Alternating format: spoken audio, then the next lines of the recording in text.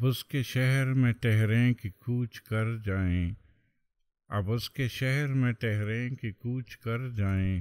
फराज आओ सितारे सफ़र के देखते हैं। अस्सलाम वालेकुम। जाबलेस नोमेट एक बेहद खूबसूरत मौसम के साथ आपकी खिदमत में हाजिर है। समाजी दूरी में ख़ुद को मसरूफ़ रखने का एक तरीका आबादी से दूर कैंपिंग करना भी है। घर से बाहर कुदरती माहौल में कुछ वक्त गुजारना एक अच्छा तजुर्बा हो सकता है। बाई अफ्रीका से कुछ दिनों के लिए आए थे, लेकिन सफरी सहूलियात बंद होने की वजह से जा नहीं सके। तो मौका गनीमत जान कर कैंपिंग के लिए निकल पड़े।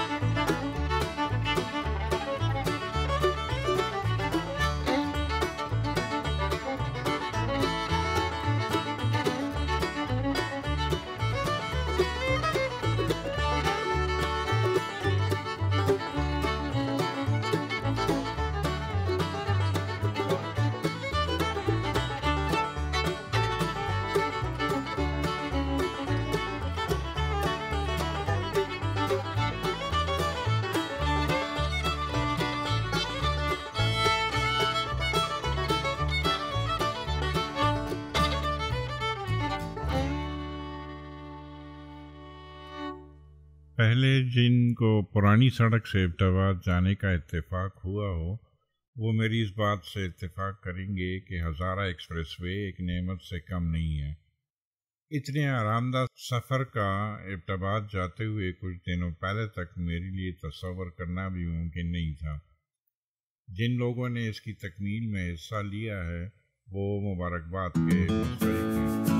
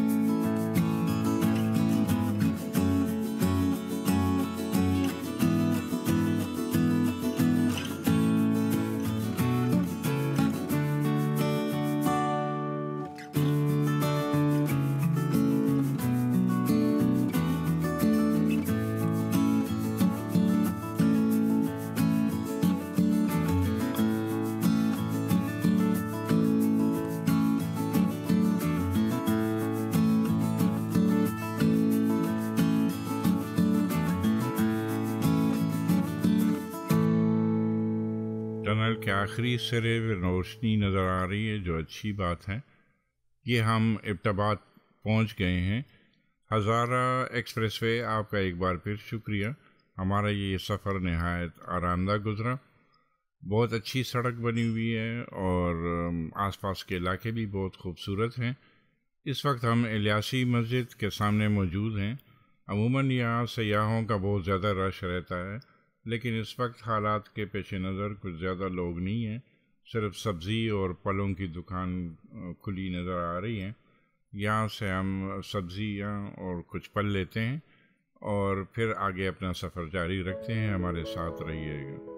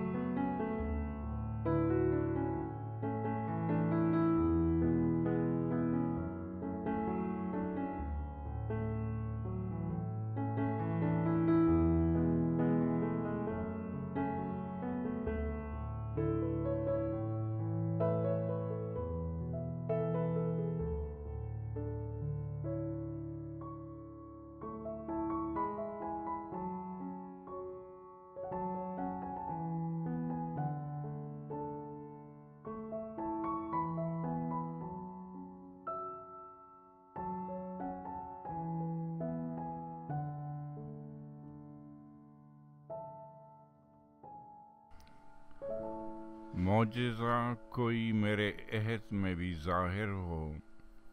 मोजा कोई मेरे अहद में भी ज़ाहिर हो। मेरा माजी मेरी किस्मत में दोबारा लिख दे। संगो आहन के मकानों से बहुत दूर कहीं। संगो आहन के मकानों से बहुत दूर कहीं। लबे साहिल कोई मट्ठी का गरौंदा लिख दे। ये हम अपने कैंपिंग साइट के करीब पहुँच गए हैं और ये मैंने टेंट लगाया हुआ है। एक कोशिश है, आप देख लें। जल्दी जल्दी इसको सेट किया हुआ है और पास में मेरा टार्प पड़ा हुआ है। ये टार्प मैंने लाहौर से मंगवाया था। थोड़ा वज़न इसका ज़्यादा है, लेकिन कीमत अच्छी थी तो मैंने कहा कि इसको इस्तेमाल कर लेते हैं। कम वज़न वाला टार्प जो है, वो ज़ाहिर है उसकी कीमत ज़्यादा होती है, लेकिन उसमें आसानी ये है कि वो आपके बैग पैक में आ जाता है। अगर कहीं बारिश हो रही हो या हवा तेज़ चल रही हो तो आप उसको इस्तेमाल कर सकते हैं। यहाँ की ज़रूरत के लिए ये काफ़ी है। बारिश का तो इम्कान नहीं है तो ज़मीन पे मैंने डाल लिया है और उसको इस्तेमाल कर लेंगे, चटाई के तौर पे। और बाद में फिर मैं हैमक भी मेरे पास है। वो तो बैक पैक में आ जाता है तो उसको भी मैं लगा लेता हूँ। मौसम बहुत खूबसूरत है, माशाल्लाह, और सामने की पहाड़ियाँ नज़र आ रही हैं। ये मेरा बैग है। बैक पैक के लिए मैं अमूमन इसी को इस्तेमाल करता हूँ। जितना थोड़ा बहुत सामान मेरे पास है, वो इसी में मैं डाल लेता हूँ। पानी के लिए मेरे पास एक हाइड्रेशन पैक है, तीन लीटर का। तो उसको मैं या बैकपैक के साथ बाँध लेता हूँ या सामने की तरफ़ और उसमें पाइप लगा हुआ है। तो जब मुझे ज़रूरत होती है, मैं पाइप लगा कर उससे पानी पी लेता हूँ। डिहाइड्रेशन से बचने का ये एक बेहतरीन तरीका है और टाइम की बचत भी हो जाती है। ये प्लास्टिक वाला जो है, ये तकरीबन पाँच लीटर पानी इसमें आ जाता है और ख़ूबी इसकी ये है कि बैकपैक में आप आसानी से इसको फिट कर लें, फिर जहाँ ज़रूरत हो वहाँ पहुँच कर इसमें पानी डाल लें। तो एक्स्ट्रा वज़न आप कैरी नहीं कर रहे होते हैं। इस तरीके से ये बहुत कारामद है। और आठ लीटर पानी काफ़ी है एक दिन के इस्तेमाल के लिए। दूसरा ये जो हाइड्रेशन पैक है, इसमें खूबी ये है कि आते हुए आप इसको आधा भर लें और फ्रीज़र में रख के इसका बर्फ़ बना लें। निकलते हुए फिर इसमें पानी डाल लें तो आपको कम से कम 24 घंटे के लिए ठंडा पानी पीने के लिए मिल जाता है, जो गर्मियों में काफ़ी काम आ जाता है। और यही थोड़ा बहुत सामान है जो अमूमन मेरे काम आता है तो मैंने कहा थोड़ा आपके साथ शेयर कर लूँ तो उसको मैं किस पर्पज़ के लिए इस्तेमाल कर रहा हूँ। अगर आपके पास कोई अच्छी सजेशन हो बैक पैकिंग के साथ या कैंपिंग के लिए कोई सामान जो ज़रूरी हो और मेरे पास नहीं है तो अगर आप सजेस्ट कर लें तो मैं कोशिश करूँगा कि मैं उसको भी अपने लिस्ट में शामिल कर लूँ। और मौसम आप देख रहे हैं, माशाल्लाह, बहुत ही ज़्यादा खूबसूरत मौसम है। बंदा भूल जाता है, ऐसे लगता है जैसे किसी पैरेलल यूनिवर्स में दूसरी दुनिया में निकल आए हैं। और ख़ासकर जिन हालात से हम आजकल गुजर रहे हैं, उसमें तो ये बिल्कुल ही एक नेमत है। बातें बहुत हो गई हैं, अब खाने की फ़िक्र करते हैं। ये मेरा पसंदीदा फायर बॉक्स स्टोव है। जिसको मैं हमेशा अपने पास रखता हूँ। ये कुछ टहनियाँ मैंने जमा की हैं, इसकी मदद से हम आग जलाने की कोशिश करेंगे। कुछ नमी है इसमें तो आग लगाने में मुश्किल पेश आ सकती है। लेकिन खुशकिस्मती से मैं अपने साथ फायर स्टार्टर लेके आया हूँ, एक केमिकल है, सफ़ेद सी टिक्कियाँ। उस पर अगर आप लग, आग लगा लें तो वो चार पाँच मिनट तक जलती रहती हैं जिसकी मदद से अगर टहनियाँ खुश्क ना भी हों तो आप आसानी से आग लगा लेते हैं। और सस्ती भी हैं। मेरे ख्याल में पचास से सौ रुपए में उसका वो बॉक्स मिल जाता है। डिपेंड करता है आप कैसे ख़रीद रहे हैं। मतलब पचास और सौ में नेचुरली बड़ा फ़र्क है। लेकिन अगर आप थोड़ा नेगोशिएट करें तो आपको अच्छी कीमत में मिल जाते हैं।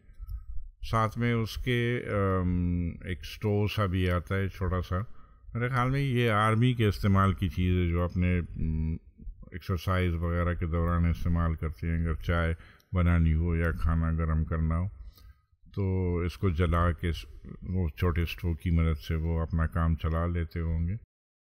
और अभी आप देख लेंगे, मैं आपको दिखाता हूँ कि टिकिया जो है वो सफ़ेद और उसमें आग बड़े आसानी से लग जाती है। अगर आपके लिए मुमकिन हुआ तो आप भी कैंपिंग के दौरान इसको ज़रूर अपने साथ रखें। बड़ी मददगार चीज़ है। ये सफ़ेद टिकिया इसमें बड़े देखें, आसानी से आग लग गई है और ये चार पाँच मिनट तक जलती रहेगी तो टहनियों में आग लग जाएगी, फिर मैं अपने साथ कोयला लेके आया हुआ हूँ। तो कोयला इसके ऊपर मैं रख लूँगा और उसके बड़े अच्छे अंगारे इंशाल्लाह बनेंगे। और अंगारे की इतनी हिद्दत होती है कि आप अपना खाना उसके ऊपर जो है बड़े आराम से पूरा खाना बना लेते हैं। सम हाउ ये लकड़ी की आग और कोयले से अगर आप कोई बनाएँ खाना तो उसका जायका बहुत ही ज़बरदस्त होता है। आम, गैस वगैरह से जो हम खाना बनाते हैं, उससे बहुत जायका मुख्तलिफ़ होता है। बहरहाल ये ज़ाती मेरे ख्याल में पसंद नापसंद की बात है। जैसे आप देख रहे हैं कि आग बड़ी आसानी से लगी और ज़्यादा मेहनत नहीं करनी पड़ी। और ये छोटा सा बक्स जो है, ये पूरा स्टोव के साथ ही जो है ना आपको मिल जाता। है इमरजेंसी में वो स्टोव भी आप अपने काम में लेके आ सकते हैं।